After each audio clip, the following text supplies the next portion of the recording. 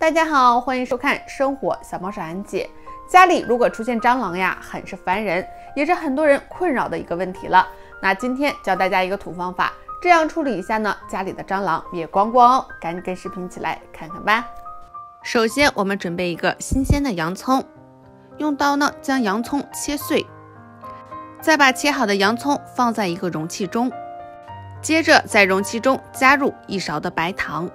然后再加上一点面包碎或者是馒头碎，最后再撒上一把的洗衣粉。我们少加入一点清水，千万不要太多。之后我们搅拌一下，将这几样搅拌均匀。